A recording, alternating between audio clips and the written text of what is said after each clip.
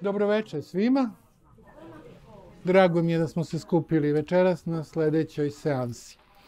Danas ćemo raditi nešto sam ja zbirnim nazivom nazvu fotografske revolucije i nešto što će nas voditi zapravo kroz one velike fundamentalne promene koje su se desile u fotografiji. Što bi rekao jedan moj student, sam moram da izvedim puškicu sa svim imenima. Evo je.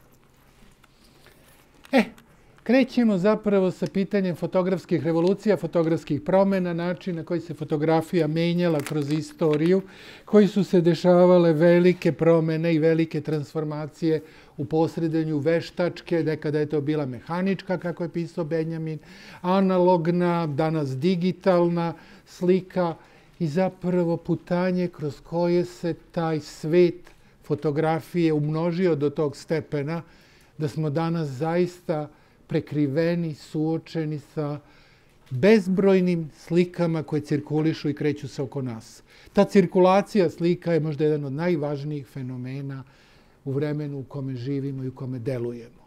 Ovde sam na neki način za sam početak izabrao tri različite fotografije koje bi bile prolog ili uvertira za ono što će biti danas reči. Prva jeste iz Antonionijevog filma Blow Up, Zapravo to je jedan od prvih velikih filmova koji je mitologizirao ulogu fotografa. Fotograf kao mit. Sam termin mita ovdje ne pri, nije vezan za antički pojam mita, već je vezan za termin mita i mitologije kod Rolana Barta. A to znači da savremena medijska kultura pravi, povezuje, umnožava zapravo likove, u kojima se prepoznaje svaki pojedinačan čovek. Svako od nas je zapravo mitska struktura.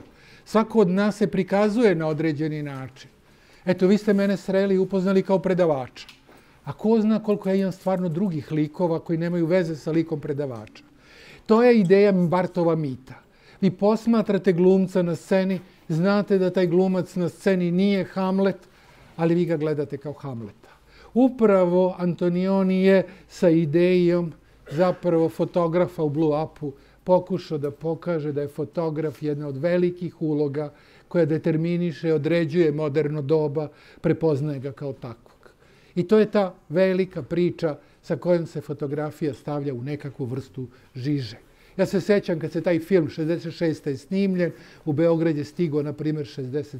9. godine, tad sam bio gimnazijalac, svi dečaci i skoro sve devojčice su ubrzo imali mini suklje i fotoaparate. Zapravo, to je bio taj trenutak kada se prešlo sa prakse aktuelnosti života u svet medijskog prezentovanja i identifikovanja.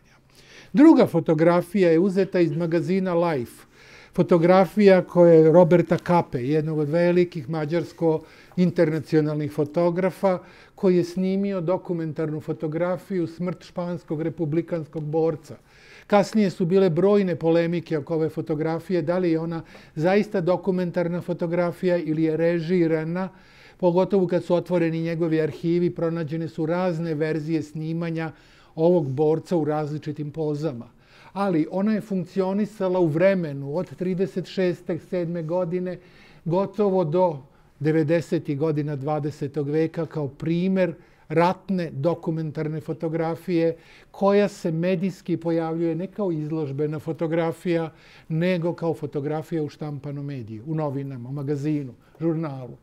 I konačno ovdje imamo Kristijana Boltanskog, francuskog konceptualnog umetnika koji radi u domenu konceptualne fotografije ili instalacije sa fotografijama, instalacije koja je povezana sa kulturom sećanja, sa teorijom memorije. Njegove fotografije, a ova, ova instalacija fotografska je vezana za prvo zove se monument Odesa ili sećanje na Odesu, vezane za holokaust, pred i tokom drugog svjetskog rata kao takvog. Ali što je bitno, u sva ova tri primjera, i to je neka poenta onoga što ja u fotografiji vidim kao revolucionarni potencijal, jeste ta da se one ne javljaju kao izložbena fotografija, ne javljaju se kao fotografija kao artefakt, već cirkulišu kroz različite medijske reprezentacije. Fikcionalni film, dokumentarnu fotografiju koja možda skriva svoju fikcionalnost i konačno plastičku instalaciju vezanu za konceptualnu umetnost i bavljenje jednim segmentom savremene teorije kulture ili kulturalne politike, a to je pitanje medijskog i memorijskog kao takvog. Na neki način ovo je okosnica ili prolog onoga što će biti razmatrano u ovom predavanju. Ali sama tehnološka bit fotografije jeste nešto što je prolazilo kroz permanentne revolucije i permanentne promjene. To je ono što je zapravo ćete pronaći kod brojnih savremenih teoretičara, od Pjera Frankestala koji je pokušao likovnu umetnost da posmatra kao umetnost povezanu sa tehnološkim razvojem, do Friedricha Kittlera koji razmatra bit umetnosti kroz evoluciju ili ekspanziju tehnoloških sredstava. Fotografija upravo to jeste. Nadar, jedan od pionira fotografije sa zapravo profesionalnom opremom koja je u to vreme bila sa pločama, stari fotoaparat sa pločama, kada on jeste još studijski aparat i taj iskorak od studijskog aparata koji se kroz 19. vek razvijao i koji negde od poslednjih godina 19. do 20. godina 20. veka postaje komercijalni aparat i fundamentalno menja fotografiju od zanata veštine u komercijalnu svakodnevnu praksu kao takvu. Također, zapravo, taj odnos sa fotografijom sa pločom, fotografijom sa filmom, različiti formati filma, do digitalne kamere koja poništava film kao takav i na mestu filma imamo elektronski zapis, elektronski generisanu sliku koja ostaje memorisana. Ja se uvek sećam, moj prvi fotografski aparat je imao 12 snimaka. I za mi imao se, kupovao sam istočno-nemačke filmove. Ti filmovi su bili dragoceni. Svaki snimak je bio beskrajno važan, jer ih ima 12 komada. Danas zapravo snimate stotine hiljada snimaka. Svako putovanje turističko, svaka zabava stvara taj beskrajni broj slika koje se pojavljuju i nestaju. Konačno to pojavljivanje i nestajanje se pojavilo i vezano je za digitalno snimanje, telefon, naprava, ja zapravo koristim ovu napravu više za fotografisanje nego za telefoniranje ili telefoniranje je nebitna funkcija ove naprave, ali fotografisanje je bitna funkcija, zato sam uzao ovaj aparat. Ja bih volao da nađem fotoaparat koji ima ovako dobru kameru, ali da nije Android, bio bi sve divan za telefoniranje. Ovako je komplikovaniji. Ali upravo taj novi telefon jeste učinio da fotografija postane totalno prisutna, postaje totalizujuća. I ona se u toj svojoj totalizaciji povezane sa još jednim tehnološkim razvojem koji je u biti postmedijski, a to je Instagram. Instagram ili druge društvene mreže su zasnovane na jednoj fundamentalnoj promeni ontologije fotografije, kad kažem ontologije, načina postojanja fotografije. Reč ontologija, filozofska disciplina koja se bavi postojanjem, ali ovde se bavi postojanjem fotografije, a to je da više nije bitno postojanje fotografije, vrsta postojanja fotografskog zapisa, već cirkulacija, kretanje. Neko bi koristio termin fluks, neko bi koristio termin cirkulacija, kruženje. I upravo Instagram jeste taj koji ulazi u proces kruženja, kretanja fotografija, Francuski psihoanalitičari bi rekli da je reč o jednoj vrsti fotografskog promiskuiteta.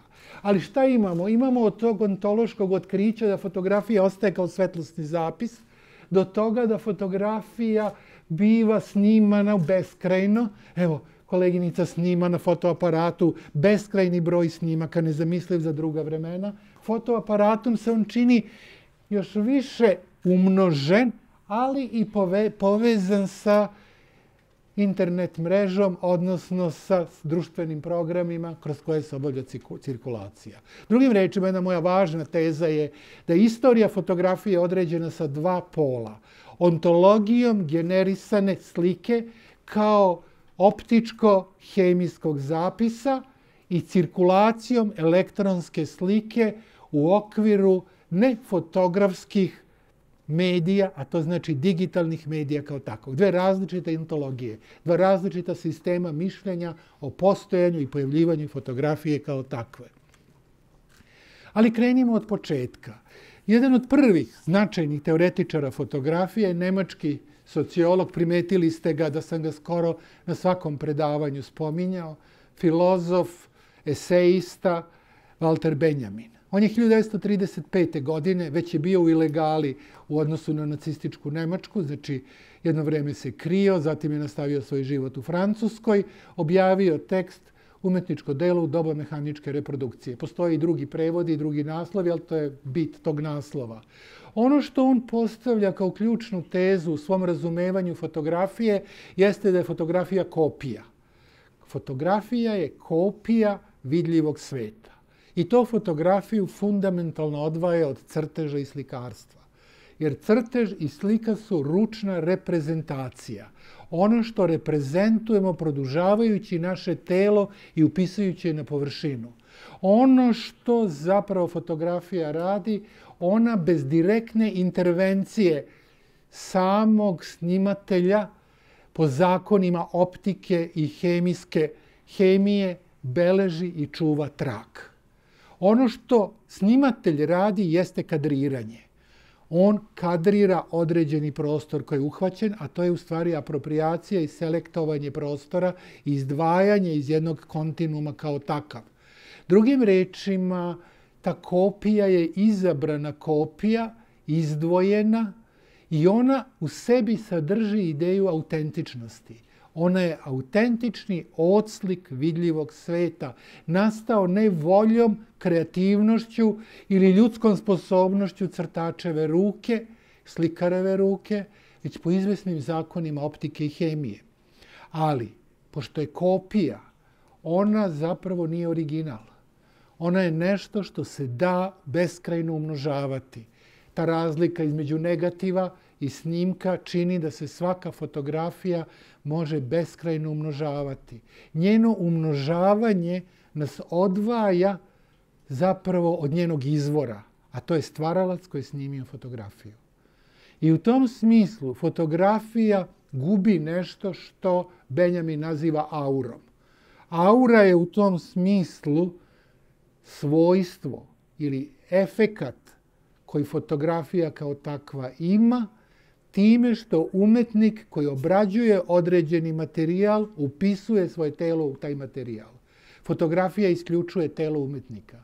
On je pomeren u polje, danas bi se reklo posle kompjuterskih nauka, korisničko polje. U polje koji onoga ko koristi određenu tehnologiju. Taj nestanak aure jeste nešto što je po Benjaminu označilo nove tehnologije mehaničkog beleženja zvuka u industriji valjaka ili ploča, slika u odnosu u industriji fotografije ili pokretnih slika u industriji filma. Mnogo se oko tog pojma gubitka aure diskutovalo. Postoje autori koji smatraju da ne, da aura nije vezana za ljudsko telo, da je ona upravo vezana za taj generički karakter snimka. Postoje autori, jedan je od njih je Yves Michaud, jedan savremeni francuski istoričar umetnosti, filozof, kustos u raznim je područjima delovanja, koji smatra da Benjamin fundamentalno pogrešio. Da se u savremeno doba sa digitalnom tehnologijom ne gubi aura, već se gubi delo. Delo nestaje, jer sve su fotografije iste, ali ostaje efekat cirkulacija fotografija. Kako to izgleda? Eto, jedan davno sam bio u nekom jednom mestu koje se zove Efes. To je jedan grad u Turskoj, pripada Rimljanima. I kad dođete u taj grad koji je okpasan žicom, na parkingu izađete iz autobusa, čekaju vas vodiči sa tablama na raznim jezicima, vi s njima idete. Oni vam kažu imamo 20 minuta da obiđemo ruševine, spremite vaše fotoaparate i kad vam mi kažemo vi slikajte. I mi ulazimo u te ruševine, fotografišemo, snimamo, snimamo, oni trče sve brže i brže, trčimo sve brže i brže, snimamo. Na kraju smo došli na izlaz, I tek kad stignemo kući, pogledamo šta smo snimili i videli smo gde smo bili. Mi zapravo nismo ni videli mesto gde smo bili, videli smo samo snimke. To bi bila ta ideja. Aura je zapravo u snimku, a ne u mestu, jer ja sam samo prošao kod njega ne primetivši ga od brzine ili procesa potrošnje kao takve. I postoji još jedna teza, i ona je, moram priznati, za ova tumačenja na kojima se ja bavim odnosom umetnosti, medija, tehnologija, fundamentalna. Ona glasi, u okvirima velikih historijskih perioda menja se sa celokupnim načinom života ljudskih kolektiva i način njihovog čulnog opažanja.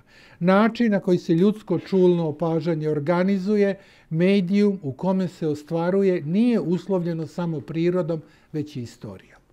To je fundamentalna teza. To znači da zapravo u istorijskim periodima se menjaju tehnologije. To znači menjaju se vrste snimanja, menjaju se načini distribucije slika, menja se priroda estetske recepcije slike kao takve.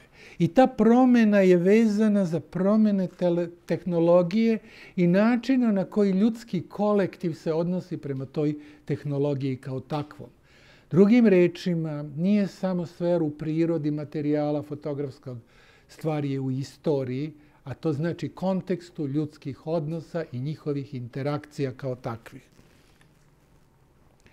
Fotografska istina, to je jedna od prvih velikih teza koji su u fotografi 19. veka verovali. Oni su verovali da fotografija beleži stvarni, realni svet. Jedan cinični, pomalo tupavi filozof i estetičar bi rekao, ali ja nikad nisam video ni jedno ljudsko stvorenje koje liči na ovu fotografiju. Da li ste nekad vidjeli plošno lice? Ova fotografija je površina. Ne. Vi vidite samo iluziju ljudskog lica.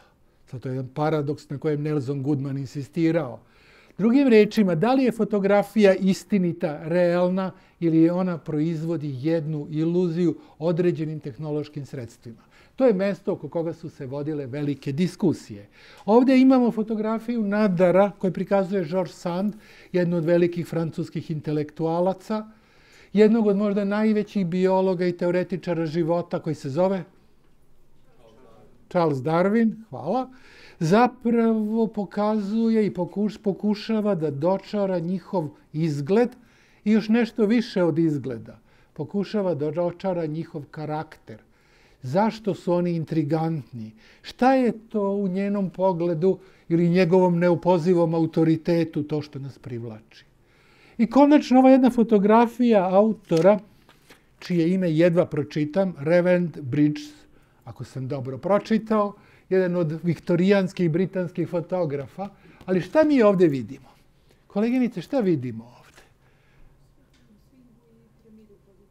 I to je sad jedno veliko filozofsko estetičko pitanje. Da li mi vidimo svingu i piramidu ili vidimo fotografiju svinge i piramide? Zapravo mi vidimo jedno i drugo. Ali ta razlika između toga da vidimo fotografiju kao fotografiju i da vidimo fotografiju kao substituciju za svingu i piramidu ili piramidu i svingu vidimo a fotografiju zanemarujemo jer ona je samo pomoćno sredstvo, to nas zapravo suočava sa jednim od ključnih pitanja gledanja. To je nešto što je austrijsko-britanski filozof Ludwig Wittgenstein, a kasnije estetičar Richard Wolheim postavio kao dve vrste gledanja. Videti kao i videti u. Videti kao, šta ja ovo vidim? Ja ovo vidim kao fotografiju. A šta vidim u fotografiji piramidu i svingu? I ta dva gledanja su analitički aparat s kojim se moramo suočiti prema svakom vizualnom susretu sa objektom posmatranja. I ovdje sam napravio jedan, stavio jednu sliku, fotografiju koja je plagijat. Imate nemačkog fotografa, imate jednu, ja mislim, njegovu fotografiju sada i na ušću u okviru nemačke izložbe, Thomas Strutt, koji se bavi fotografisanjem muzejskih muzejske publike. Njega zanima pogled muzejske publike. Ja sam zapravo na mestu gdje on snimio svoje najznačajnije fotografije, snimio svoje fotografije. One se gotovo ne razlikuju ni po čemu. Sem po statusu i funkciji. Moje su turističke, njegove su artističke. Ali zapravo tehnologija je omogućila da uđemo u tu vrstu dijaloga dva različita funkcionalna.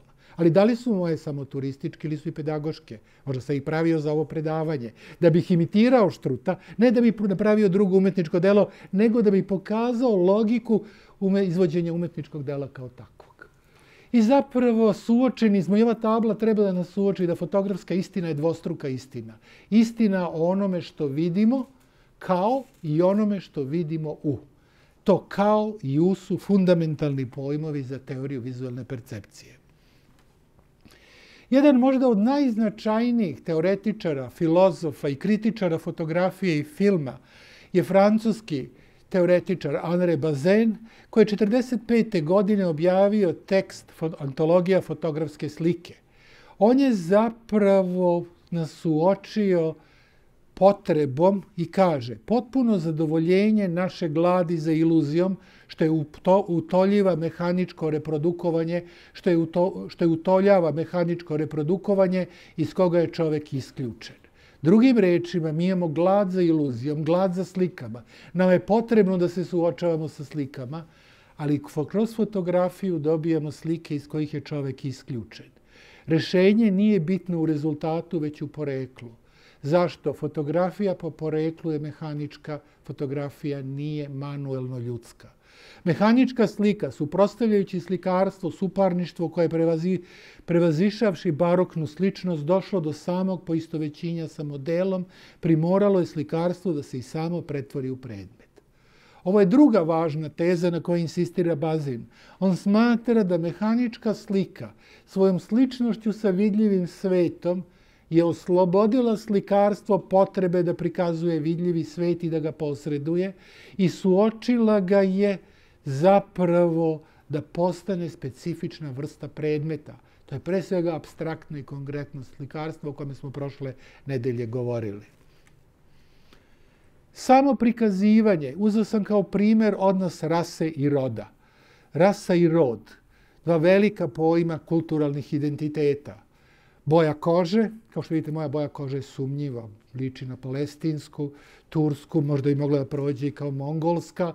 Zapravo ja volim tu neodređenost moje boje kože, ali određuje pitanje rase, jednog identiteta koji se pravi i koji se gradi kroz 18. i 19. vek u odnosu na dominantni beli kolonijalni identitet. Moj kolonizovani identitet je problematičan kao takav.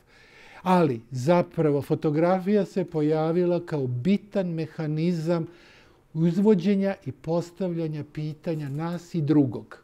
Kako drugog prepoznajemo? Čiji sam ja drugi? Ili ko je drugi ovim slikama? Ali onda vidimo da nije samo u pitanju rase i roda, već i pitanje klase.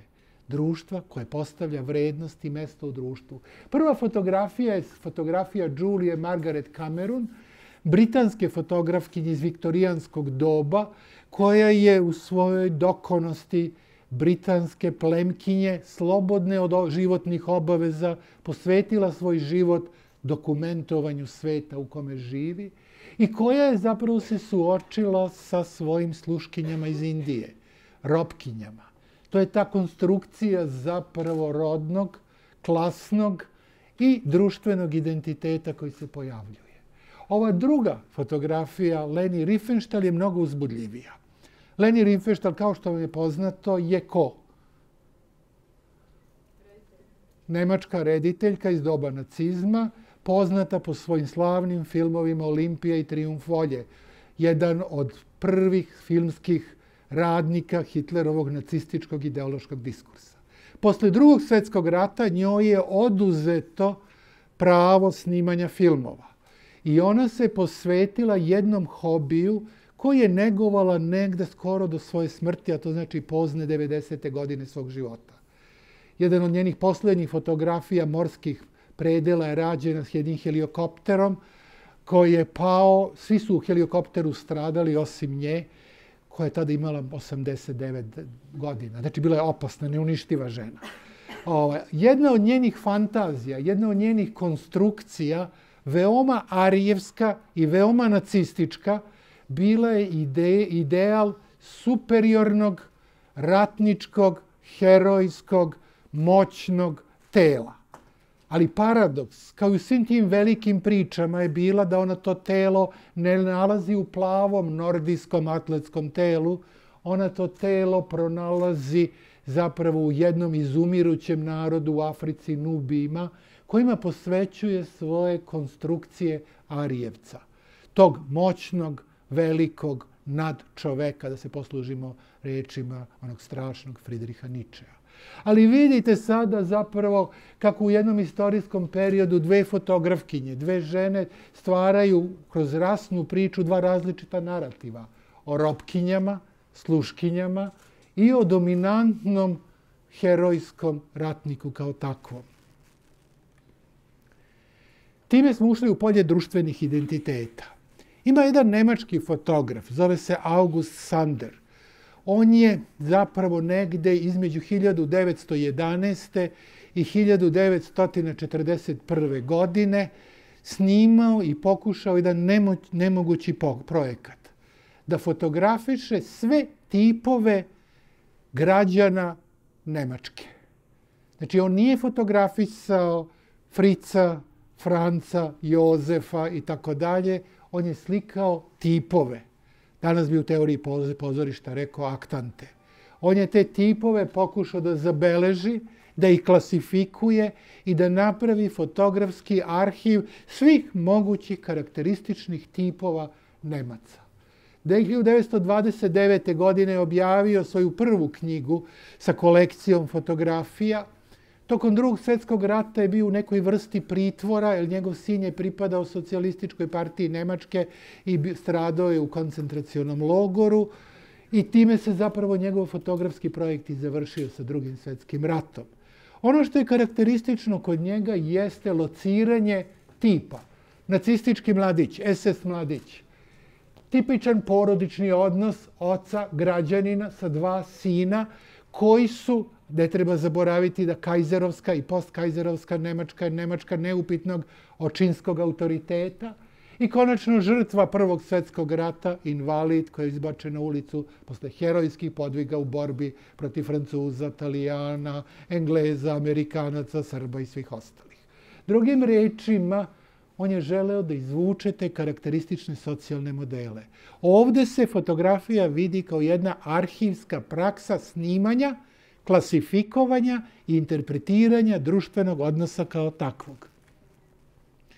I tu sad možemo da uvedemo jednu od savremenih, ili tako reći, savremenih foto, teoretičarki fotografije, to je Suzana Sontag. Ona je u svojoj knjizi Svet slika iz 77. godine zapravo postavila nekoliko teza. Ja sam iz brojnih njenih teza izvukao one koje vode u jednom smeru. Ona kaže, jer slike koje imaju praktično neograničen autoritet u modernom društvu uglavnom su fotografske slike. Ona želi da kaže da je fotografska slika preuzela primat u odnosu na druge oblike slikovnog izražavanja i da ona ima društveni autoritet. U prirodnim naukama snimiti jezgro atoma ili ćelije, snimiti društvene procese, političke procese, snimiti zapravo vidljivi svet kao takav. A razmere tog autoriteta potiču i svojstva koje imaju samo one slike koje su napravljene kamerom. Kamera je ono što daje legitimnost fotografiji. Ona legitimiše da je fotografija nešto što ima autoritet da se konfrontira i postavlja kao kriterijum za realnost. Fotografija je, zatim kaže, prisvajanje u više oblika. Ona uvodi prva međutim, termin prisvajanje. Pre se smatralo odražavanje, snimanje, mimetizovanje, oponašanje. Naprotiv, ona kaže da fotografijom i njenim optičkim svojstvama i prisvajamo mogući svet. Konačni razlog za potrebu fotografije svega leži u logici same potrošnje. I tu Suzana Sontag dolazi iz američke kulture, kulture dominantno potrošačkog karaktera. Svesna je da slike nisu idealiteti koji se čuvaju neupitno, slike su zapravo roba potrošačka, vizuelnost realnosti ili vizuelnost iluzije koje trošimo, ali potrošnjom slika mi tražimo još više slika. Ja sam to iskusio s ovim fotoaparatom. Snimim jednu sliku, onda moram još pet. Još pet, još deset, još dvadeset. Te slike se umnožavaju. A onda shvatim da to staje sve na Facebook. Ni jedan album ne bi toliko stalo. I na Instagram. I to sve ulazi u jedan svet prepoznavanja, izvođenja, komuniciranja. Odjednom počinjem da komuniciram tim slikama sa ljudima koje nikad nisam sreo i verovatno nikad neću sreti, a mi postajemo bliski kroz cirkulaciju i potrošnju slika. Klasne razlike. Vidite, pitanje klasne razlike je još jedan važan element fotografskog rada. Izabrao sam dva američka fotografa, Doroteu Lange i Richarda Avedona. Oboje pripadaju takozvanoj žurnalističkoj fotografiji, ponekad se naziva i umetnička fotografija. Ono što ove fotografije karakteriše jeste kombinacija dokumentarnosti i režije. Kombinacija režije i dokumentarnosti. Vidite, ova fotografija Doroteja Lange koja prikazuje majku sa dvoje dece na ostrvu Bedloe, zapravo prikazuje trenutak njenog dolaska na tlo Sjedinjenih država, boravak u karantinu gde su boravili doseljeni emigranti pre nego što su dolazili u SAD, da se vidi da li donose zarazne bolesti iz starog sveta. I zapravo taj trenutak brige, pogledajte njenu ruku na ustima, karakterističan pokret ženskeg straha, nesigurnosti, zbunjenosti pred budućnošću. I to je nešto što izgleda kao uhvaćeni, zamrznuti trenutak pokazuje se da je ona snimila mnogo fotografija da bi došla do ovog trenutka. I drugim rečima, jedna moja važna teza je da je svaka fotografija režirani efekat. I to ne samo u polju kadriranja, već u polju snimanja, beleženja i povezivanja. A Avedon naprem njoj, naprem sveta siromašnih emigranata, postavlja svet za prvo bogatih kockara, ljudi koji žive na visokoj nozi, život spektakla. I oni konstruišu ono što se naziva u savremenoj teoriji kulture ikone kulture. Ikone siromašnog sveta i ikone super sveta, sveta zapravo bogatstva, moći i permanentne potrošnje zabave kao takve. I sad dolazimo do jednog autora koji moram priznati za mene je puno značio, Imao sam priliku i da ga upoznam, imao sam priliku čak jednom da učestvujem u razgovoru od nekih pet sati. Moj užasni nepodnošljiv engleski ga je nervirao. Mene je nervirao njegov strašni, savršeni britanski akademski engleski. Ali smo pričali i nastavljali uporno da diskutujemo šta je umetnost danas između kognitivizma i psihoanalize. To je Viktor Burgin, britanski konceptualni umetnik, teoretičar kulture, ima dvostruku profesionalni profil. Imao je značajnu karijeru konceptualnog umetnika, zatim kao fotografa i video umetnika. I s druge strane doktorirao je Culture Studies, teoriju kulturalnih produkcija. Na oba nivoa je predavao u Sjedinim američkim državama i Britaniji. On je objavio više knjiga. Jedna od knjiga koja je, je važna jeste fotografska praksa i teorija umetnosti 75. Druga, drugi tekst koji je važan, to je logika fotogra gledanje fotografije i treće fotografija, fantazija, funkcija. Drugim rečima, fotografska praksa je marksistički tekst. Govori o društvenom karakteru fotografske proizvodnje. Pogled u fotografiju govori o onoj važnoj prirodi vidljivosti. Način na koji oko se kreće da bi uhvatio fotografiju, a fotografija, fantazija, funkcija se zapravo bavi tim fantazmatskim modelom koji fotografiju izmešta iz polja realnosti u polje konstrukcije ljudske, želje, ljudske želje, uživanja. Drugim rečima, njegov rad u odnosu na teoriji fotografija se može podeliti u tri polja. Teorija fotografije, teorija pogleda i teorijska psihoanaliza. Teorija fotografije, to znači da je fotografija fotografska praksa.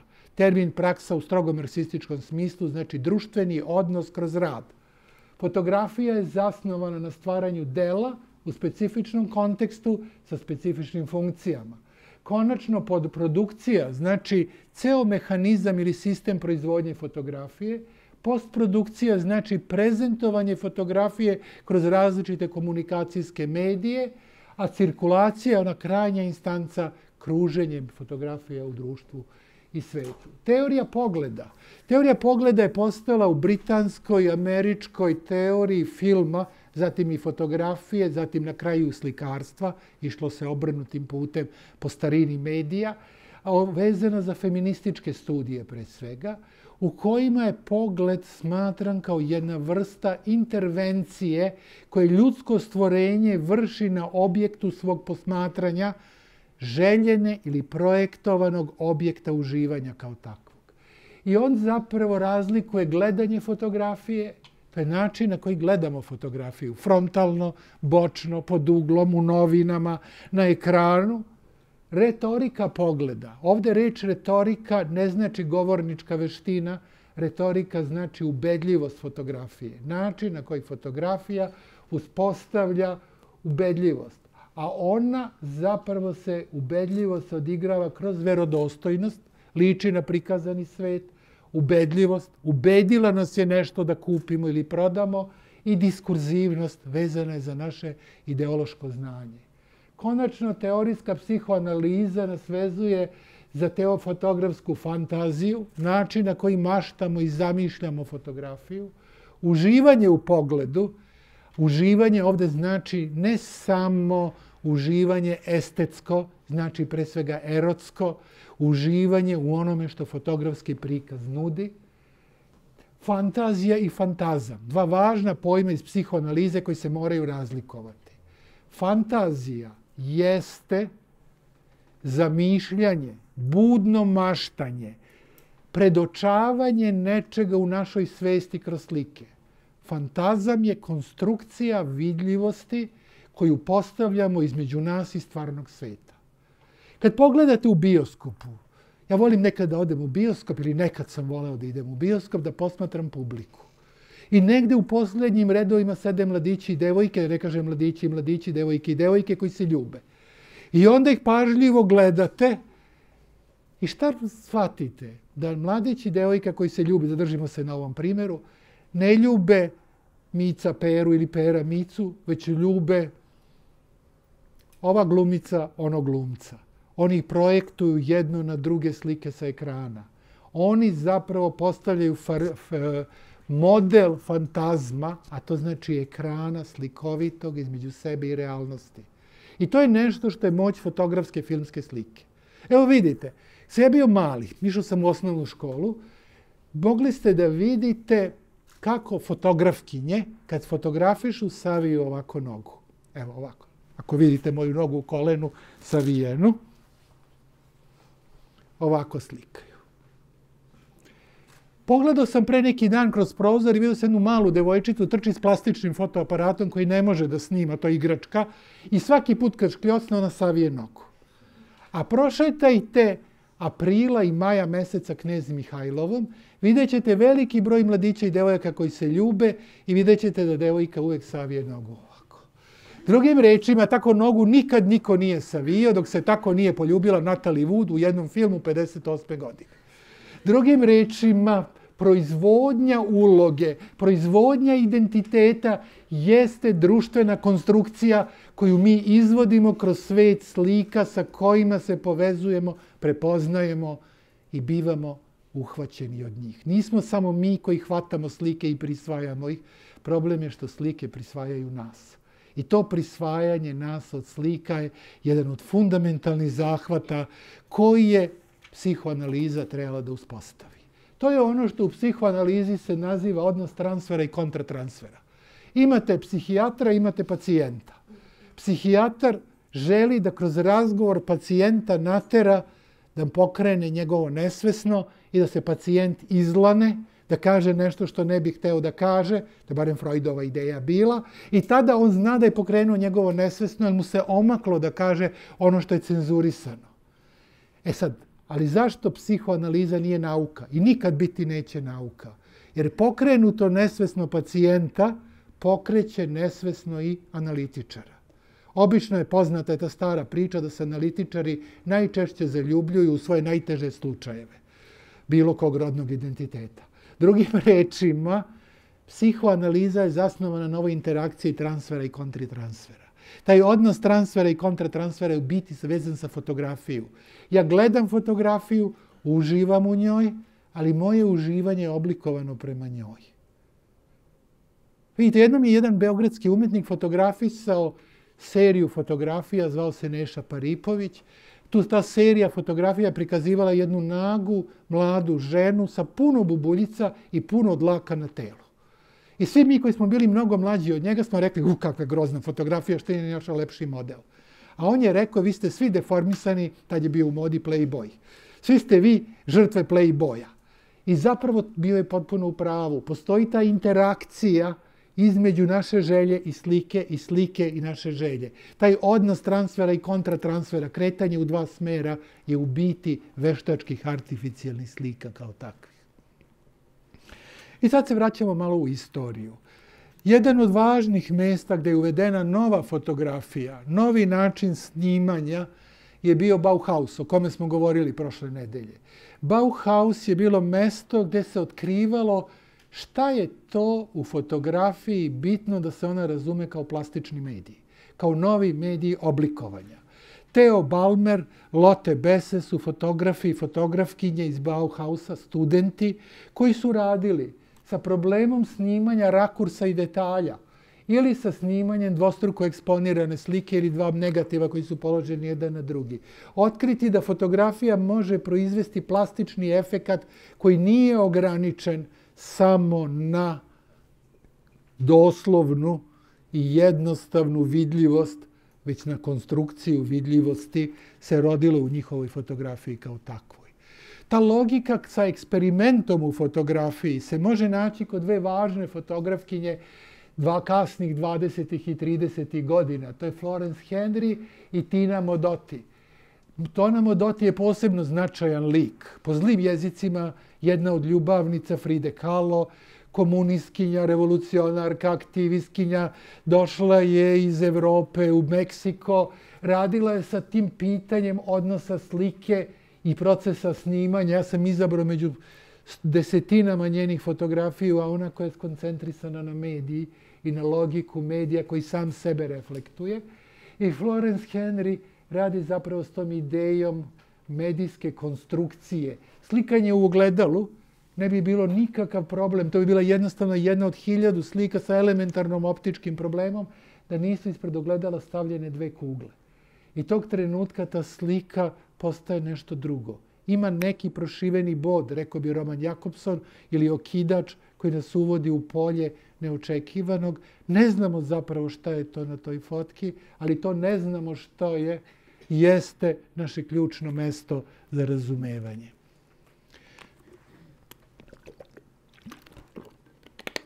Jedna od najvažnijih figura za razvoj moderne fotografije mađarsko, nemačko, američki, da ne nabrojam sve njegove geografske pozicije, umetnik Laslo Moholinać, koje je svoje serije fotografija, ja sam izabrao ovu seriju zasnovao na logici dizajna.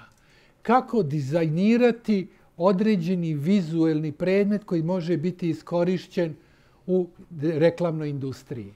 Da li je to rađena fotografija bez fotoaparata, da li je rađena fotografija sa kolažiranjem i montažom ili je fotografija poizvedena kao abstraktni oblik samim procesom osvetljenja. Ali svaka od ovih fotografija ima taj potencijal aplikativnosti u masovnoj medijskoj ili vizualnoj kulturi. Također jedna od važnih figura, gotovo zaboravljenih, jeste Lee Miller.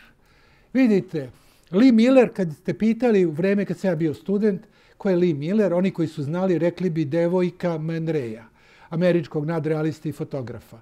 I ona je bila zaista njegova uspešna, lepa, moćna devojka, kasnije imala još uspešnije i bogatije partnere, ima čitavu priču koja životnu koja liči na roman, bila je na kraju i fotograf vojni za vreme drugog svetskog rata.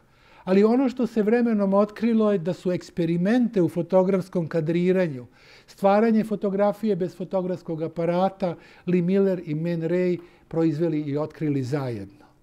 Ono što je karakteristično jeste taj njen drugi lik, ratne report, fotoreporterke njen jedan od prvih ulazaka u Mauthausen i Auschwitz i prve fotografije nasilja koje je izvršeno tokom drugog svjetskog rata su postali kodovi u njenom fotografskom radu. I onda imate taj odnos artističkog i umetničkog i s druge strane dokumentarnog novinarskog. Ta dva sveta su se, kako je vreme prolazilo, sve više približavala. Danas da gotovo nema razlike. Man Ray, spomenjeni partner, francusko-američki slikar u Parizu, jedan od vodećih dadaističkih nadrealističkih umetnika, blizak krugu Marcela Dišana, koji je radio sa, kao i Laslo Moholinać, kao otkriću novih fotografskih tehnika. dvostruka ekspozicija pomerene slike, uvećani detalj i konstrukcija afektivnog ili fotografija bez fotografskog aparata. To je još jedan san. Zašto? Pa sve umetnosti, pogotovo one zasnovane na mehaničkoj reprodukciji, film i fotografija, želele su da dostignu moć ili umetnički karakter slikarstva. A činilo se da se ta moć slikarstva dostiže onog trenutka kada fotografija gubi svoju reprezentativnu, a to znači mimetičku funkciju kao takvu. Još jedan fenomen koji se javlja u fotografiji 20. godina u Francuskoj, da bi danas bio gotovo uobičajen u savremenoj umetnosti, jeste da fotograf ili umetnik bude onaj koji nije snimio fotografiju. Ove fotografije je snimio Man Ray. One prikazuju Marcela Dišana u različitim situacijama. Sa pastom za brijanje koje stvaraju dva rokčića, preobučenog u rozu selavi, ili sa obrijanom zvezdom na potiljku. Ove fotografije su zapravo fotografije Ben Reja, ali ovo su umetnička dela Marcela Dišana. I sad imate taj paradoks. Paradoks zapravo odnosa umetnika i realizatora. Onoga ko ima koncept i ko ima ideju i onoga ko tu ideju sprovodi. To je nešto što ćete danas vidjeti kod brojnih fotografa. Možda vidjet ćemo za koji minut Cindy Sherman, koja zapravo važi za jednog od najvažnijih savremenih fotografa, mada njenu, njene fotografije realizuju profesionalni snimatelji. Dišan i Rej su to uradili kao jedno obećanje. Umetnik je taj koji izvodi događaj i taj događaj se transponuje u sliku. U francuskoj kulturi 30. godina dolazi pod uticajem francuskog pisca, teoretičara, etnologa Žorža Bataja do ideje da fotografija može da otkrije nesvesno. Ja sam na toj fascinaciji nesvesnim zapravo postavio jednu tezu koja je pa spojila zapravo Bataja i Bretona sa Walterom Benjaminom, da je reč o fotografijama gde se nesvesno pojavljuje u vremenu mehaničke reprodukcije. Samo ova ideja nesvesnog u vremenu mehaničke reprodukcije je Walter Benjamin odredio u knjizi koja se zove Mala istorija fotografije pod nazivom Optičko nesvesno. Šta je optičko nesvesno u fotografiji? Svaki poremećaj slike realnosti. To bi bila današnja odredica. Za Valtera Benjamina optičko nesvesno se javlja kad snimate i kad ste videli šta ćete snimiti, pritisnete okidač na fotoaparatu, a model pomeri glavu. Evo, svako je od vas sad u ovoj sekundi dok se ja pritiskao, malkice pomerio glavu. Neko je trgo, neko je zagrino, neko je podigao oči, neko je spustio bradu. Zapravo, taj trenutak između onoga što ste vidjeli i onoga što ste snimili, on naziva nesvesnim. To je jedna dimenzija. Druga dimenzija jeste da uvećani snimljeni detalj postaje nešto što usredsređuje našu pornografsku pažnju. Jean Baudrillard, francuski sociolog, je napisao šta je pornografska slika. Pornografska slika nije slika koja prikazuje genitalije, pornografska slika je uvećani detalj do makrovidljivosti. I šta će se desiti kad snimite nokat, palac do uvećanja? Bata je napisao roman koji ima samo jednu reč, a taj roman glasi Palac. Taj uvećani palac jeste nešto što usresređuje pažnju, koncentrisuje. Koji je najerotičniji deo ljudskog tela? Pa oralni deo usta.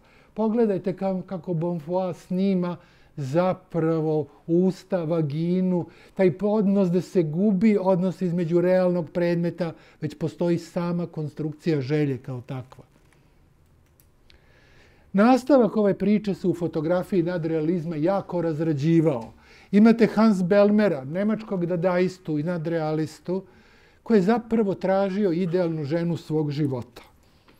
Vidite, u psihoanalizi, od Freuda do Lakana, a to su sve bili građanski buržoa mislioci iz patrijarhalnih sredina, postojala ideja, muškarac je taj koji ima želju. Želje, žena nema želju. Ako žena nema želju, žena ne postoji. Ta šema zapravo je uspostavljena i razrađivana od Freuda krajem 19. veka do 60. godina kod Lakana. I šta se tu dešava? Dešava se jedna zapravo cenzura ženskog subjekta. Žena se pretvara u ono što je Lakan nazvao mali objekt, petit A. Ono što projektujete kao fantazamski objekt na koju sređujete želju, ali taj objekt ne može želeti. On je tu da zadovolji vašu želju. Upravo Belmer, iako selu ovu priču nije znao, ova priča je tek nastala mnogo, mnogo kasnije, on zapravo određuje da je idealna žena lutka. Žena koju on konstruiše od delova lutaka pravljenih u modnoj industriji, pornografskoj industriji, stvarajući te objekte svog pogleda i želje kao takvog. Druga važna figura je svakako Claude Cahun. Francuska nadrealiskinja, rođena u Parizu, bila je u jednom porodici koju, kojoj se otac i majka u njenom mladosti razvode. Ona s majkom odlazi u njen novi majčin brak. U tom novom braku susreće svoju partnerku, čerku majčinog novog supruga i s njima žive sljedećih 40 godina. Porodica da ih ne bi gledala, sklonila ih je na jedno ostrvo između, na La Manšu, između Francuske i Engleske. I u tom prostoru one čitavih skoro 40 godina snimaju fotografije malih formata u kojima se maskiraju, preoblače, šminkaju, slikaju same sebe, jedan lik umnožen kao ovaj na Claude Cahun, u različitim situacijama. I to ostaje zaboravljeno, iako je Claude Cahun bila bliska prijateljica vođe nadrealizma Bretona, iako je bila sa svojim dramama povezana s nadrealističkim pokretom, ona biva gotovo zaboravljena dok se nisu pojavile američke istoričarke umetnosti feminiskinje. Od Britanke Griselde Pollock do Amerikanke Rosalind Krauss. Oni otkrivaju te male fotografije, privatne fotografije, to su gotovo kontakt kopije, pravljene neposredno po snimku u veličini negativa i pretvaraju ih uz interpretaciju u jednu ključnu, veliku priču nadrealizma. I ta jedna velika ključna priča nadrealizma nas suočava sa još jednom dimenzijom, a to je pogled, telo i figura žene kao subjekt nesvesnog. Sad se odjednom pokazuje da žena postoji, a možda muškarac ne postoji. Ja imam tu jednu teoriju, izmislio sam je. Kratka je teorija, ispričat ću vam. Vidite, vjerojatno ste svi čitali Za razliku od mene, ja sam prilično neobrazovan čovjek i ja sam tu klasičnu literaturu uglavnom nisam čitao. A jedno od tih dela koje me mučilo još od gimnazije, pa sam ga čitao, napuštao, terali su me da ga ponovo čitam, zaboravljao, bila je zapravo Odisej onog slavnog grčkog pesnika koji se zvao Beše Homer. E, problem sa mnom je što je otkrio da Homer nije ni postojao. Da su njega izmislili nemački filolozi spajajući različite grčke... Ali to nije problem ovdje. Problem je da u Odiseji postoji ta priča o ženi koja je ostavljena na Itaci i koja čeka da ju se muž lutalica vrati i za njega i zbog njega žrtvuje svoj život dok on putuje po ostrvima tražeći put do kuće, vodeći ljubav sa divovima, zmajevima, čarobnicama, vračevic, vračkinjama i svim ostalim čudnim stvorenjima. I klasična priča je o pasivnoj ženi koja sedi doma i aktivnom mužu koji putuje po ostravima. A da li je realnost sasvim suprotna? Ko je zapravo Odisej? Jedan novčić, moneta koja se menja od čudovišta do čudovišta po celom svetu. On zadobija identitet tek tako što stiže na neko ostrvo i susreće neko neobično stvorenje s kim stupa u emotivnu vezu ili ne, ili strah, užas, ljubav. Sve su to povezane reči u psihoanalizi. A šta ona radi? Ona sedi na prestolu. Ona čuva državu. Ona je država. Njena guza na prestolu zauzima središte moći i države. Prose odlaže tako što plete zapravo ono i odlaže ih dok ne isplete to što ima da isplete. Ona ih odbija dok ne stiže kralj koga ona postavlja i prepoznaje za kralja. Ona je ta koja upravlja društvenim sistemom. Moja teza sljedeći Ellen Sixu glasi zapravo Odisej ne postoji. On postoji samo u razmeni sa drugima. A žena je tako postoji jer ona drži sistem i planetu u pokretu. Ovo je obrnuto Freudu Lakanu. Kao što vidite, To je ta, to pitanje odnosa koji se postavlja u odnosu na nesvesno. I ovdje su dve fotografije ljudi iz ovih krajeva. Dora Mar, poznata kao ona žena sa krikom koju je Picasso sliku u nekoliko desetina slika, jedna od ljubavnica Picassovih, je zapravo bila profesionalna fotografkinja. I trebalo je skoro da prođe 20 i nešto godina od smrti Picassa da njene fotografije uđu u opticaj kao primjeri nadrealističkog fotografskog rada.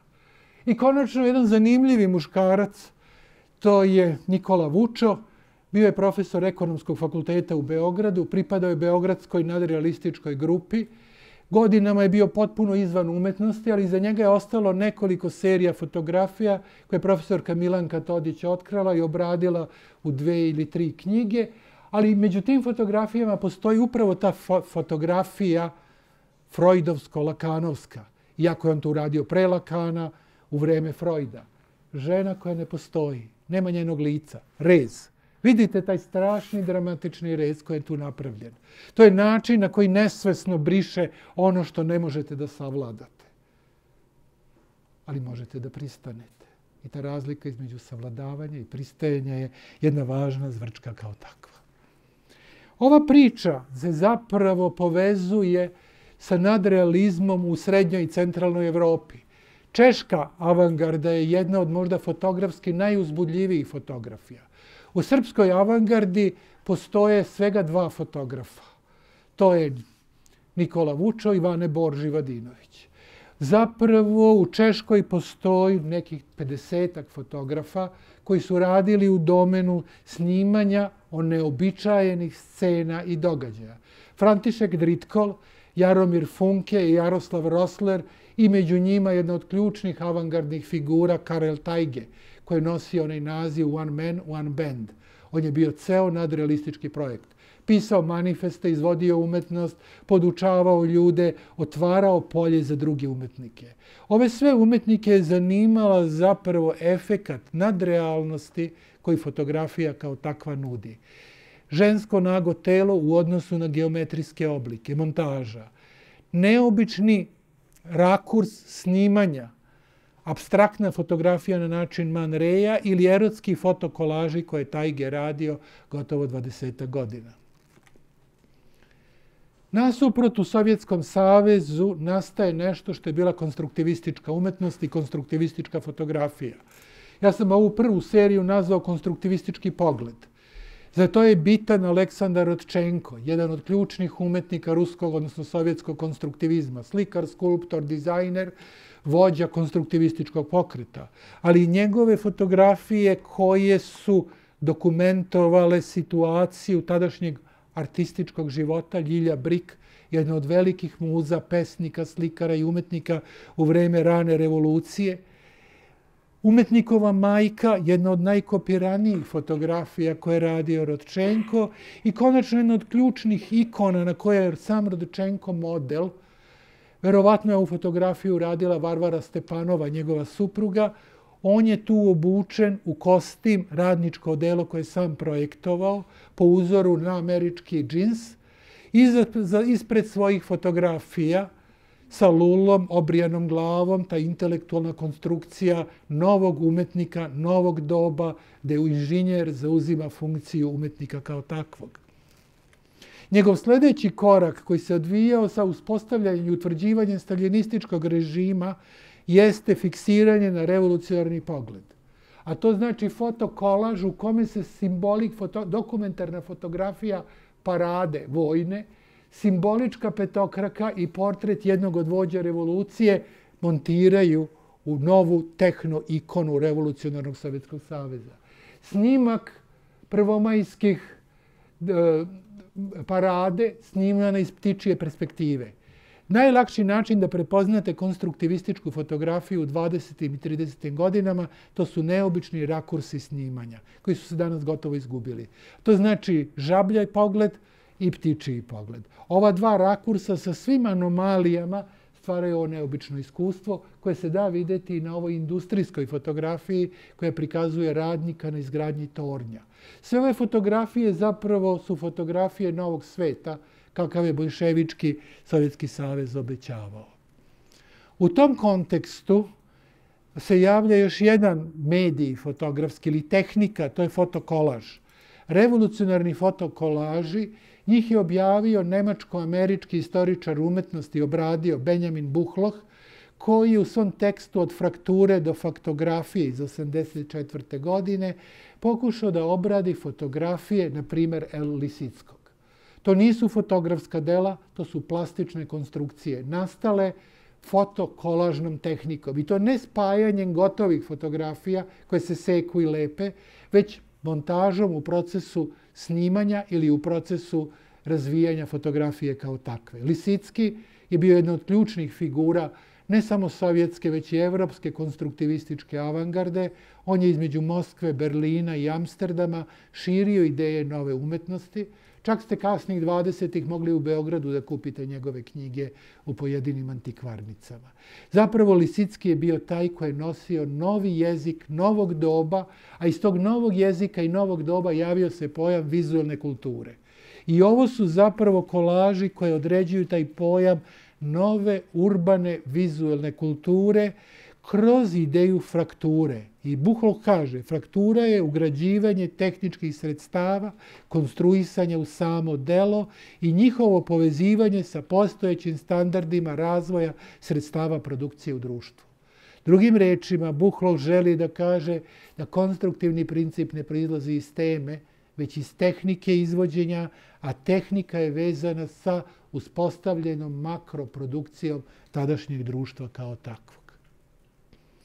Nasuprot ruskim umetnicima koji su projektovali novo društvo, javio se u Nemačkoj jedan nekadašnji dadaista, John Hartefield, čovjek koji je tokom Prvog svjetskog rata svoje ime Johan pretvorio u John, uzimajući jezik odnosno ime i prezime neprijatelja nemačkog društva i nemačkog carstva. To ime je zadržao kao svoje umetničko ime u vreme Vajmarske republike, a radio je sa brojnim časopisima kolaže koji su zapravo prikazivali i predstavljali levičarski otpor dominantnom društvu i uspostavljanju nacizma. Posebno su značajni njegove fotokolaže i fotografije za časopis A i Z, jedan od radničkih ilustrovanih magazina, koji, u kome je on radio naslovnice skoro deset godina, obračuvavajući se sa nacističkim režimom. Ova fotografija je rađena povodom demonstracija koje su u krvi ugušene 1. maja 1900 29. ili 30. godine, tad je bila socijaldemokratska vlast. Radničke demonstracije su ugrašene i ona se zvala jedan od hiljadu. Ta fotografija je zapravo jedan od provokativnih modela zapravo odnosa onoga što je on nazvao fotomontaža kao političko oružje. Zatim njegova kritika nacističkog režima kao korumpiranog režima ili režima nacističkog kao krvoločnog režima, režima koji se nasiljem sprovodi svoju moć i dominaciju, su bili bitan izazov. Ali meni su ove kolaži bitni zbog još jednog razloga, a to je cirkula, cirkularnost fotografije. To nije fotog... Danas se te fotografije nalaze u muzejima. Mnogi od tih magazina su uramljeni, okačeni među slikama, skulpturama. U vreme kad su nastajali, oni su bili deo masovne vizualne kulture političkih dešavanja u Vajmarskoj Nemačkoj kao takvoj. Naravno, u tom odnosu fotomontaža javlja se još jedan bitan odnos, a to je zapravo feministička fotomontaža ili pitanje feminističke ili ženske politike. Svakako, reč je o Hani Hoch ili Heh, kako se obično izgovara kod nas, nemačka fotografkinja, jedina žena u Nemačkoj dadi koja je imala aktivnu vodeću ulogu, koja je radila klasični kolaž blizak Pikasovskom kolažu, samo sa političkom, feminističkom notom. Ona je rezala fotografije ili slike ili pojedine materijale, povezivala ih u novu kompoziciju izvođenja ženskog traumatiziranog lika, ženskog vanevropskog lika, ženskog lika koje se suočava ne samo da je gledan, već i da gleda. I nasuprot njoj sam postavio i povezao sa fotokolažima savremene američke umetnice Barbare Kruger. Barbara Kruger je po profesiji bila grafički dizajner, radila je u velikoj meri grafički dizajn za brojna knjige, časopise, da bi zapravo realizovala i čitav niz kritičkih kolaža kojima kritikuje potrošačku kulturu. A ovaj ambijent, e, nas, svako nasilje je stereotip, je posvećen ženskom silovanju. Ono ideji koja je data vizuelno kroz fotokolaže, akustički, kroz dokumentarne snimke, uz tezu da svaka silovana žena je tri puta silovana. Od silovatelja, od policije i sudskog sistema.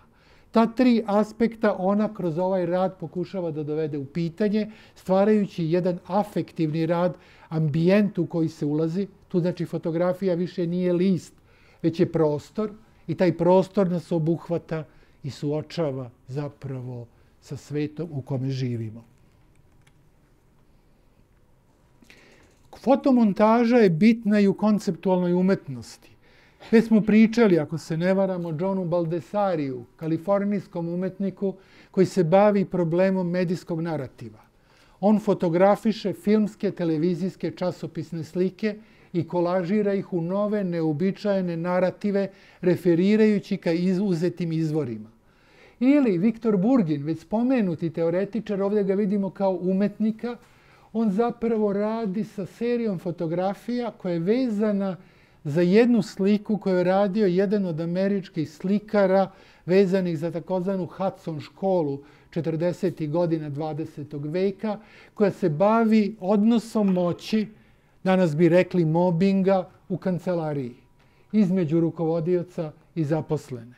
On radi, zapravo to je bila tada pripadalo je kritičkom socijalnom realizmu, dok Burgin iz toga izvodi jedan poseban plastički jezik znakova, identiteta, vidljivosti žene, odnosu vidljive žene i institucionalnog poredka moći.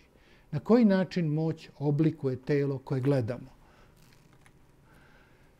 Nasuprot konceptualnim, preciznim analizama, postoji jedna umetnica koja je bila u polju, danas bi rekli, ili starinski bi rekli, intuitivnog pristupa reagovanju na neobično sveta, na drastično sveta, na paradokse sveta, na ono što nas zapravo uznemirava kad se suočimo sa tim u stvarnoj realnosti, prenaglašavajući tu realnost u retoričkom gestu kadriranja, centriranja figure. Jedan od njenih fotografija patriota u Njujorku zapravo pokazuje jednog od pratilaca ili gledalaca patriotske parade koja se odigravala u Njujorku u vreme hladnog rata. Fotografija uplašenog travestita iz njujorskih predgrađa, čoveka koji se šminka, priprema, skriva, ne sme da pogleda, ili neobičnog maloletnog para, takođe u radničkim predgrađima. Ona nas uočava zapravo da je svet negativno mesto da ta negativnost jeste deo njenog egzistencijalnog gesta i čina kao takvog. I ovdje moramo u teorijskom smislu pozvati se na Rolana Barta. Roland Bart, francuski teoretičar književnosti, teoretičar kulture, medija, zapravo ima jednu malu knjižicu koja se zove Svetla komora iz 1980. godine, napisanu neposredno posle smrti njegove majke, napisanu par godina pre njegove smrti, u kome se bavi sudbinom koju nam fotografija nudi. Bavi se zapravo tom memorijskom razinom vidljive slike i načina na koji vidljiva slika zapravo istovareno potvrđuje istinitost fotografije ili onoga što je bilo. Ja gledam fotografiju i znam da je to bilo. Ali ja kad gledam fotografije iz moje prošlosti, zapravo ja se pitam da li se ja sećam moje prošlosti ili fotografija koje gledam. Bart se igra sa tim momentom na koji se kultura ili mehanizam sećanja gradi kroz fotografski mehanizam kao takav.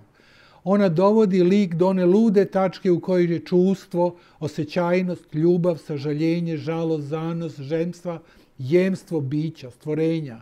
Tada se ona doista približava ludilu, doseže ludu istinu luda ili mudra? To je veliko Bartovo pitanje. Da li je fotografija u svom realizmu mudra ili nas suočava sa razumevanjem sveta ili luda vodi nas do ekstaze u kojoj više ne možemo da fotografišemo naš pogled. I taj momenti su vezani za jedno polje takozvane umetničke prakse koja se zove body art. Body art umetnici kao što su Vito Akonči, Denis Oppenheim na prelazu 60-ih u 70. godine koriste fotografiju kao sredstvo dokumentovanja ili beleženja svojih performansa, akcija. Vito Akonči radi seriju performansa koji su zasnovani na iscrpljivanju tela. Ovo je trenutak kada on gura pesnicu usta do povraćanja. Taj moment se dokumentuje i fotografiše. On pokušava da svoje telo suoči sa određenim fiziološkim granicama. Denis Oppenheim na sa svim neutralniji način uzima jednu knjigu koja ima u naslovu taktike, pripada antičkoj priči o vojnim taktikama i postavlja je na svoje grudi dok leži na plaži. Sklanja je kad je telo izgorelo, a tamo gdje je bila knjiga ostao beli kvadrat. Naravno, znate na koga asocira. Na Maljevića. Zapravo, ali to nije Maljević na platnu, to je Maljević na sobstvenom telu. Fotografija je tu zapravo jedna vrsta instrumenta provokacije realnog kao takvog. Jedan od umetnika koji je također eksperimentisao granice i medijske potencijalnosti fotografije je Bruce Neumann. Bruce Neumann ili Naumann je američki umetnik, konceptualni umetnik, ambientalni umetnik, ali među prvima je uradio jednu seriju hologramskih, a to znači trodimenzionalnih snimaka svojih grimasa. On je bio doslovno unuk Dišana. Pokušao je da prenese Dišanovske gestove u savremeni svet. On je imao jednu rečenicu. Kako ja mogu da verujem u bilo šta? Vijetnamski rat uništava američku omladinu. Da li su kosmonauti stigli na mesec? Da li je ekonomska politika takva koja je u stvari sredstvo terora nad ljudima? Ja jedino u što mogu da verujem to što mogu da uradim sa svojim ustima šta mogu da uradim sa svojim nosom, šta mogu da uradim sa svojim telom. Ta vrsta reduktivnosti odnosa prema svetu, jedna vrsta autizma, jeste nešto što je on poremetio koristeći hologramski snimak, a to znači 3D snimak kao takav. Jedan broj autora je radio, i to je jedno od oblika ili žanr fotografije u 70. godinama sa, sa serijama fotografija ili sekvencama snimani su procesi. Zagrebački umetnik Mladen Stilinović radi tu ciničku delo koje se zove umetnik stvara ili umetnik radi. Snima sebe dok spava. Ta fotografija zapravo prikazuje umetnika u pasivnosti. Umetnika koji preuzima Dišanovsku ideju i postavlja je u absurdnu situaciju potpunog obijanja produkcije. Imamo seriju fotografija koje je radio John Hilliard, koji je zapravo radio sa dva, rađena su dva fotografa. Fotograf koji ima aparat na stativu i fotograf koji nosi fotoaparat i protrčava. Birajući različite ekspozicije i otvore blendi, oni su pokušali da se beleže i dokumentuju proces kretanja. I konačno vidite da to pričam iz nekog iskustva. Stavio sam dve moje fotke iz 74. godine sa otvorenim okom. Samo tada je to bilo sve mnogo lepše. Drugim rečima, stavio sam sa otvorenim okom razbiti jedan događaj u dve faze, u tri faze, u četiri faze, pokazati da fotografija preuzima moć strukturalnu filma kao takvog. Jedan broj umetnika u 70. godinama se bavi odnosom teksta i fotografije. Svakako najpoznatiji među njima je Joseph Košut, koji se bavio tim odnosom fotografije predmeta stolice, sama fizička stolica, retnička definicija stolice. Tri pojavnosti jednog fenomena. On je radio zapravo sa modalitetima vidljivosti i prepoznatljivosti. Beogradski umetnik Neša Paripović je radio jedan od misterioznih radova koji se zovu poruke seks, politika, droga, umetnost. Četiri teme koje obsedaju umetnost u različitim periodima, naravno taj period 60-ih kao 80-ih godinama. Ali je zanimljivo, kad priča o seksu, on šapuće devojci. Kad priča o politici, šapuće mladiću. Kad priča o drogama, priča zapuštenom muškarcu. Ali kad je reč o onome što je njegov posao, on dobija informacije o devojke. Drugim rečima, on pravi tu inverziju između kreativnog, aktivnog i pasivnog kroz odnos slike i teksta. Drugim rečima, taj odnos, tipologija teksta i slike i kod Košuta na analitičkom planu i kod Paripovića na ideološkom planu zapravo nam govore da mi živimo u kulturi onoga što je Julija Kristeva nazvala intertekstualnost. Kako je ona definisala intertekstualnost? Najjednostavnija definicija kaže jedan tekst postoji tako što u sebe upija druge tekstove. I u tom smislu ovaj tekst u sebe upija ove tekstove referirajući na njih. Ove potpisi se upisuju u ove fotografije i dobijamo različite privatne i javne narative. Odnos između izgovorenog i viđenog jeste jedan od fundamentalnih odnosa zapadne civilizacije. Odgovor na ovo je bio isto jedna serija fotografija koje je radio zagrebački konceptualni umetnik Željko Jerman. A to znači on je prestao da snima fotografije, slikao je razvijačem i fiksirom po fotografskom papiru. Umakao je četku, ispisivao reči i ovo je zapravo smrt krepa i fotografija možda posljednja fotografija koja se mogla napraviti. I verovatno jeste, posle toga je svet počeo drugačije u fotografiji da izgleda. Ono što je bitno za fotografiju od 80. godina ka našem vremenu jeste pitanje memorijske fotografije. A to znači kulturalna memorija. Vidite, u klasičnom psihološkim teorijama memorija je nešto što pripada individu. Međutim, u kulturalnim studijama od 70. kroz 80. do 2000. godina razvija se jedna čitava linija koja se bavi kolektivnim pamćenjem, kulturalnim pamćenjem, kako jedna kultura nešto beleži. To beleženje sobstvenog postojanja ili nepostojanja. Sergej Vasiljev ili Boris Mihalhov su ruski i ukrajinski umetnici koji zapravo beleže vreme tranzicije, raspada Sovjetskog saveza, nastanak kategorije građana beskućnika u Sovjetskom savezu, načina na koji su oni kodirani i predstavljeni u jednom istorijskom trenutku transformacije političkog sveta. Tu transformaciju političkog sveta je uradila i beogradska fotografkinja, istoričarka umetnosti Goranka Matić, koja je beležila zapravo izloge u vremenu nakon Titove smrti. Nakon smrti Josipa Broza Tita ona je tražila klišeje ili kulturalne simbole kojima se izražavao referencijalni, identifikacioni odnos ili memorijski odnos sa njim. U njujorskoj vremenu, u isto to neko vreme, jedan broj umetnika radi sa problemom perverzije prizora. Kako preći od perverzije, kako je pisao Freud, individualne devijantne seksualnosti u polje kulturalnog identiteta, koji nije više devijantan, već je pitanje politike rodnih identiteta. Joel Peter Witkin radi sa odnosom erotizma i smrti. E, Robert Mapletrop radi sa simbolima zapravo otuđenog, smrtonosnog, hladnog tela koji nastanjuje virus AIDS-a. Ali oba ova autora zapravo koriste fotografiju kao narativni model. Ove fotografije nose u sebi sažete, komprimovane priče. One su povod za priču.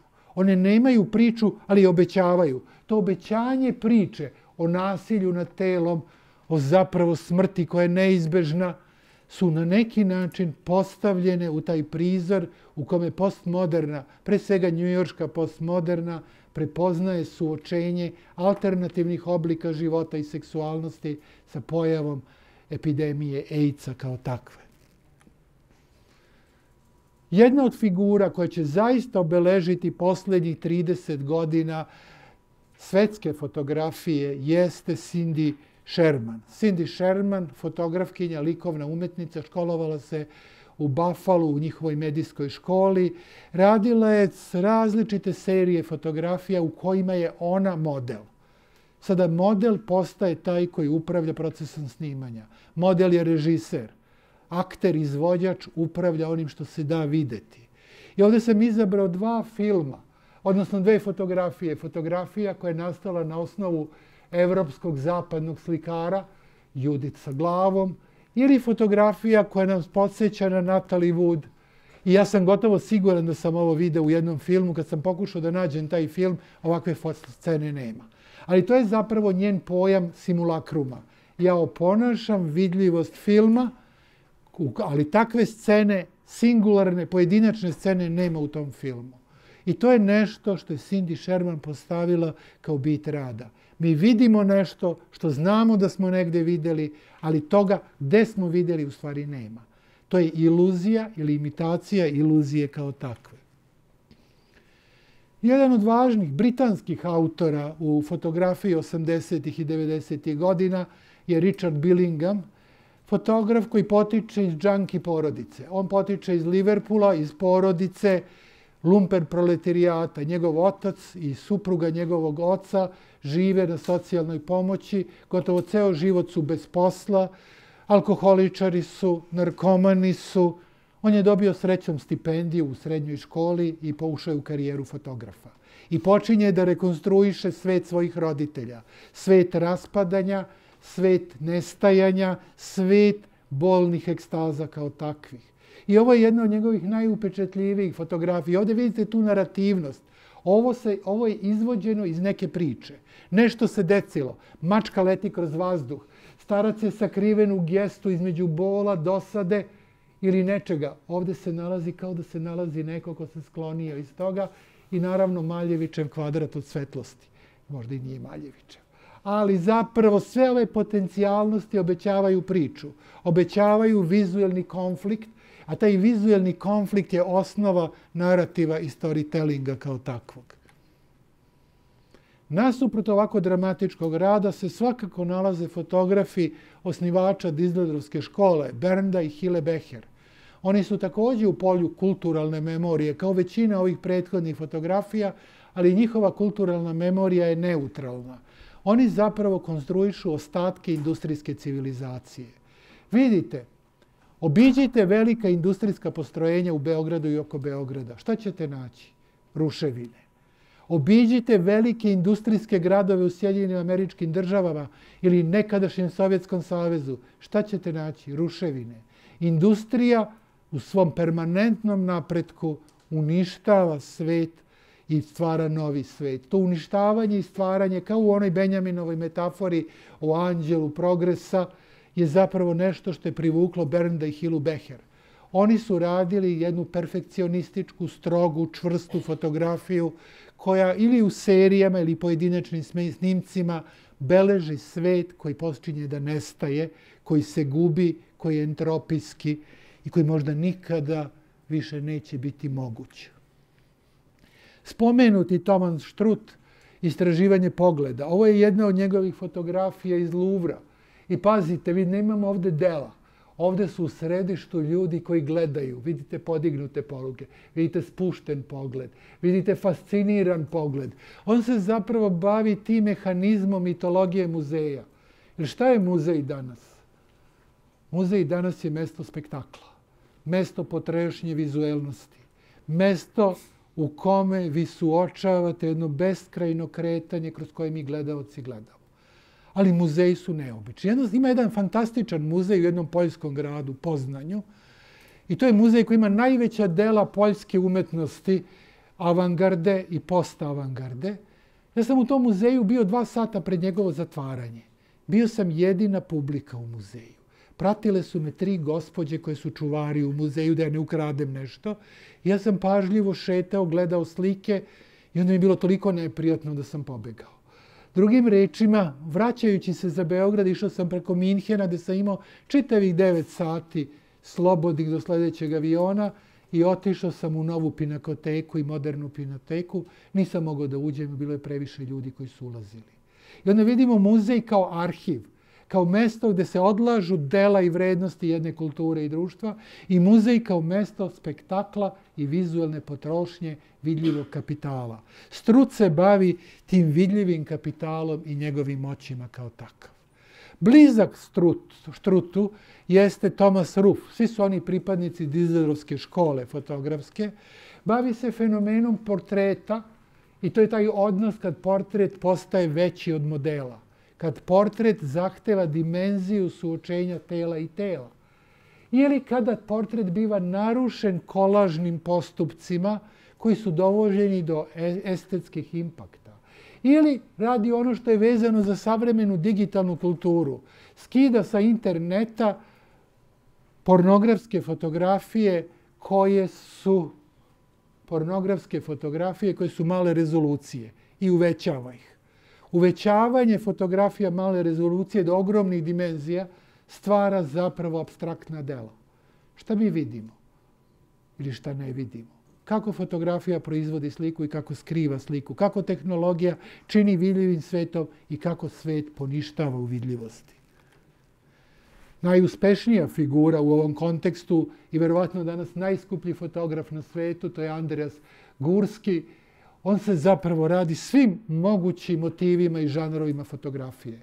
Od fotografije koja je dokumentarnog tipa do fotografije koja je obrađena u Photoshopu, od fotografije koja je vezana za društvenu situaciju do abstraktnog predela. Ova fotografija je prva fotografija koja je prošla prag od miliona evra, znači ovdje steko, taj, zove se Rajna 2, je fotografija koja je zapravo urađena u minimalističkom maniru, koja zapravo nudi gotovo kao sa slika Barneta Njumana ili Marka Rotka redukovnu kompoziciju. Njoj sam suprotstavio ovdje primjer fotografije koja prikazuje prikazuje jedan aerodrom, velikih aerodroma, sa čitavim sistemom signalizacije, velikim brojem ljudi i beskrenim brojem detalja. I vidite ovdje kako se detalji redukuju da bi se dobio estetski utisak čistog i ovdje se detalji umnožavaju da bi se zapravo stvorili rojevi informacija. Kandida Hofer, jedna od redkih žena u Dildorskoj školi, koja se bavi zapravo odnosom ljudskog i neljudskog sveta.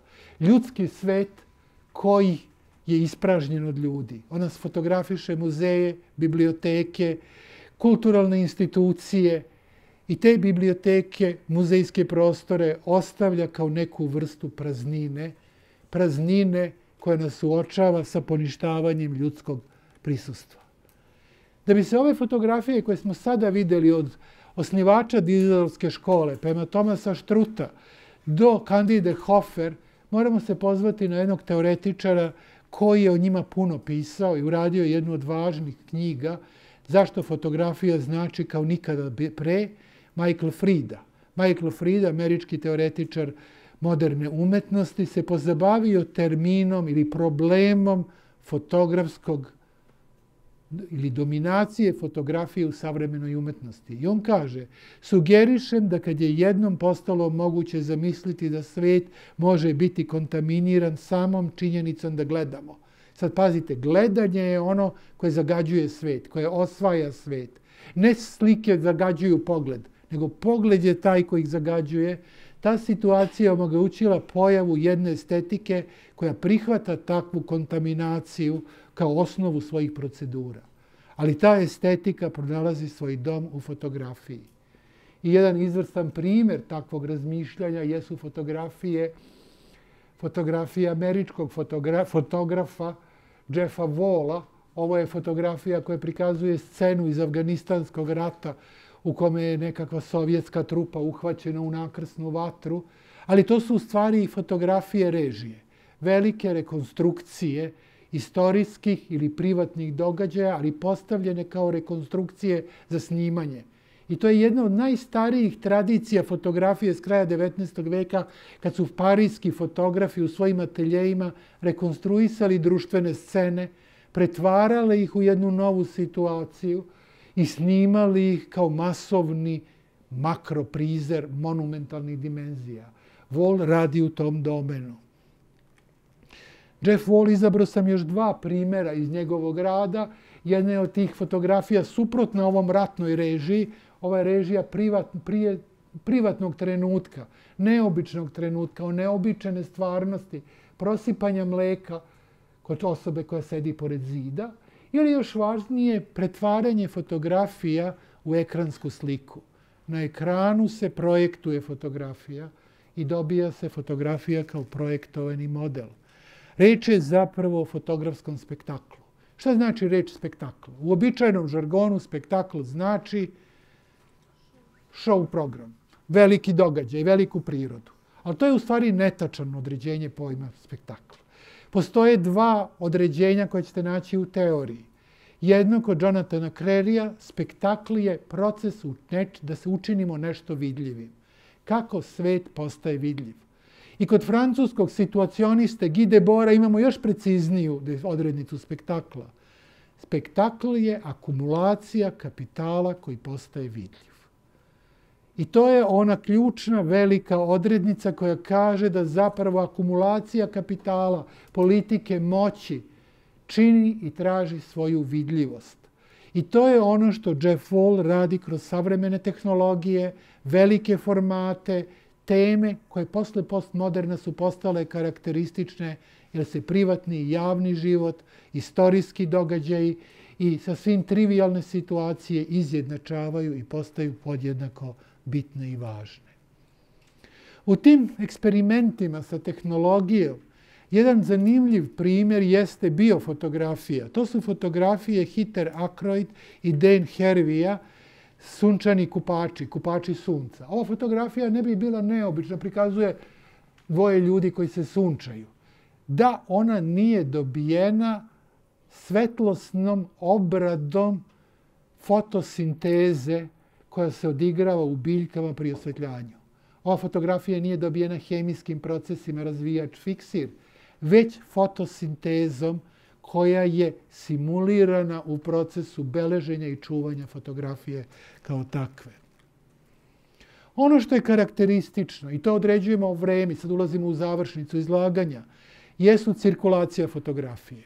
Marcel Duchamp sa svojim ready-made-ima, svoju fotografiju portreta Men Reja, fotografski snimak Monalize s brkovima i sa formom LHOQ, isti taj portret u objavljen u časopisu 391 pokazao da fotografija se medijski umnožava i distribuira.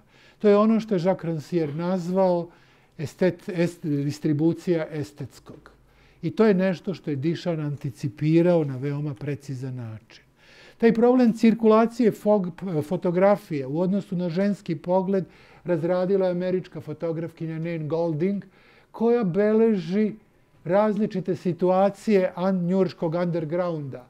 Dve devojke koje odlaze u provod, e, umirući trenutak jednog bolesnog od AIDS-a i poljubac njegovog partnera, neobično poziranje na žurkama njujorskih travestita i kvirovaca ili njen autoportret nakon sukoba sa njenim dečkom, Meksikancem. Kao što vidite, dobijate jednu čitavu konstrukciju privatnosti koja je dovedena u razinu spektakla. Dva umetnika koja su radila sa cirkulacijom, ali ne samo fotografijom, nego svega što postoji na ovom svetu. Predmeta, kolača, skulptura, slika, kamenova, cveća i bilo čega drugog su švajcarski umetnici Peter, Peter Fischl i David Weiss. Oni su zapravo radili fotografije aerodroma, putujući, oni su dokumentovali aerodrome na kojima su bili. Ili su fotografisali cveće u vrtovima gdje su prolazili ili umnožavali i transformisali te fotke. Ali nijedan od ovih radova nema značenje po sebi, nema poruku. On samo obećava transmutaciju fotografija kao takvih. Jedna od možda ključnih fotografskih radova ovog vremena jeste fotografski projekt o fotografiji Alfredo Žara. Alfredo Žar je čileanski umetnik koji je posvetio jednu svoju instalaciju južnoafričkom ratnom reporteru Kevinu Carteru. Zapravo, Kevin Carter je rođen u Južnoj Africi, fotografisao je u različitim građanskim ratovima u Africi, posebno u Sudanu. I jedna fotografija za koju je dobio Pulcerovu nagradu, najveću američku nagradu za novinarsku fotografiju, je bila fotografija koja poka postavi, prikazuje dete, pored koga se nalazi lešinar ptica. I ova fotografija je izazvala velike etičke polemike. Da li je on kao fotograf trebao da snima ovu fotografiju, da je centrira, kadrira ili je trebao da spase dete? To je jedno mesto koje svaki ratni fotograf mora da postavi sebi. Da li je on dokumentator ili je akter? Kevin Carter je izabrao da je uradio dokument. par mjeseci nakon dobijanja Pulcereve nagrade izvršio sam ubistvo. Da li je izvršio zbog fotografije ili drugih razloga, o tome ne znamo, nema podataka. Ono što je Alfredo Žar uradio jeste da je napravio umetničko delo koja je jedna mala soba u kojoj se projektuje PowerPoint, kao ovaj, ali kao slide show, sa fotografijama tekstova koji govore o životu Kevina Cartera, sa njegovim fotografijama, naravno centralna je ova fotografija, i zaključuje se datumom njegove smrti.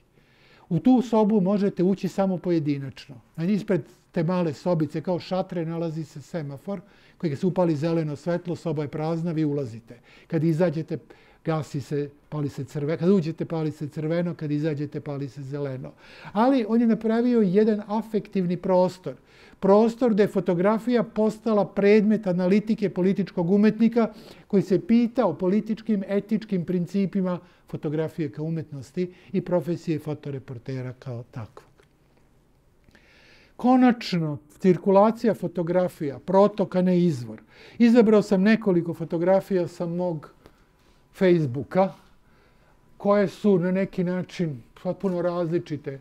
Cvetić, e, Ljubičice koji se prvi put ove godine pojavio, Mladić, njujorski haker, Aron koji je izvršio samoubistvo nakon što mu je suđeno za kraću, za krađu e, časopisa koji se nalaze u G-Store-u, kažu da je oštetio G-Store za skoro 50 miliona dolara, preuzimajući tekstove i šaljući ih širom sveta. I konačno, nešto čime se ja bavim posljednjih godina, to su vizualno-teorijski komadi gde se svađam sa filmovima. Ja nisam po prirodi svađalica i shvatio sam da najbolje mi je i najlakše da se svađam sa fotografijama. A to je zapravo sa cirkulacijom fotografija. I obično uzmem iz nekog filma fotke, stavim svoj portret i napišem nešto što mi se čini bitno. Uzao sam dva tamna, crna filma. Run, Lola, Run, zapravo Loli koja trči u smrt i jedan od film Kurosave koji također govori o progonu i zločinu i sa onim što moramo svaki dan da živimo. A to je show must go on. Show uvek mora da se odvija. Ma koliko bilo teško, gadno, prljavo, užasno, ali show must go on. I to je bilo predavanje o istoriji fotografije i teoriji fotografije. Hvala na pažnju.